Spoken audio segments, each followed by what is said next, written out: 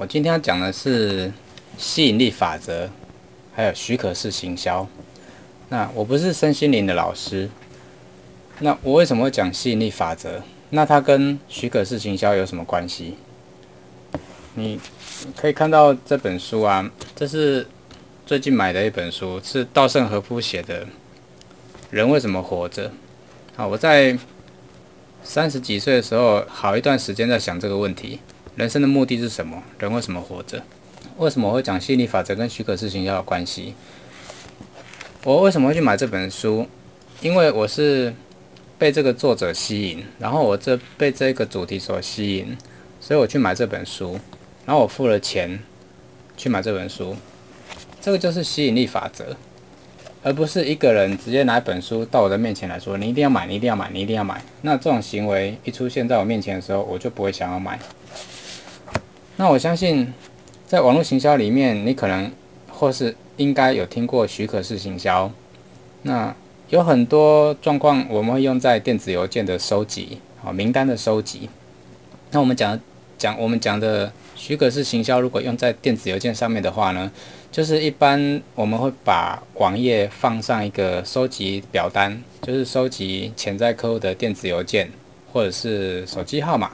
哦，请。网友去填写，然后只要他填写之后呢，我们就会发信件给对方，然后连续连续疲劳式的轰炸发信件给对方。那但是这是经过他许可的哦，因为他对这个主题有兴趣，所以他才会去订阅这一个我们讲电子报好了。好，他自己去订阅的。当然最底下我们会有个推订系统，让他主动去退订这个电子报。如果他不想收到信的话。那这个就是吸引力法则跟许可式行销，因为我们在他的许可之下吸引他进来订阅。那我相信你也遇到过一个状况，就是在脸书的社团，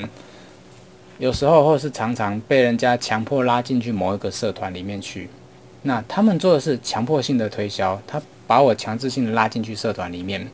这种行为会让人家很讨厌，没有好感。那所以你第一步就输了，你输在你的形象、你的印象大大的扣分，所以人家根本不会想买东西，只想直接把你删掉。还有一种就是目前的 Line，很多人已经把重心转到 Line，呃，Facebook 的比例开始降低，还有电子邮件的比例使用率也降低，那大家都转到 Line，那有很多人呢也开始好，又用强迫邀请的方式。邀了很多人，然后邀到同一个群组去。那这个方式呢，跟那个脸书拉人进社团的方式一样，很令人不喜欢，很令人讨厌。那你又输了，因为你又输在第一步，你的印象被大大的扣分。所以你没有掌握到吸引力法则、许可式行销，那你的网络行销就做不好，因为你第一个印象就不好了。你还没有取得别人的信任之前。你就做了一件让人家讨厌的事情，那你后续想讲什么、做什么，产品再怎么有吸引力，我也不会想跟你买。那到底怎么做才是正确的方式？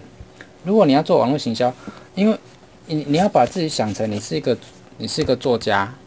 你如果要做网络行销的时候，你要把自己想成你是一个作家，你必须去自媒体，自媒体就是自己的媒体，你必须在你的部落格、你的网站。你的脸书、你的 Line，去发布对别人有用的讯息，你就把自己当成一个作者、一个作家啊。虽然你没有去出实体的书，可是在网络上的自媒体，它就是你的自，你自己就是一个出版社，你自己就要去抛你的文章，然后抛你拍的图片等等哦，或者是你录的影片，引起别人的兴趣，这时候让别人主动去订阅。所以为什么我现在在教？赖的生活圈，因为它就是一种许可式行销，而且它是一种让潜在客户、网络访客非常容易订阅你的许可式行销的方法。它比电子邮件还要方便，它发送的讯息可以让潜在客户很快就接收到。一旦你能够掌握这种许可式行销的方式，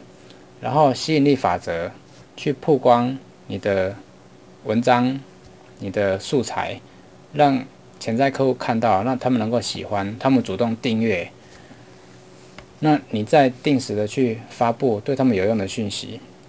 这样子的行销方式才能够让你自己在你的潜在客户心中留下一个好印象，在还没有卖出产品之前，在客户的心中留下个好印象是非常重要的。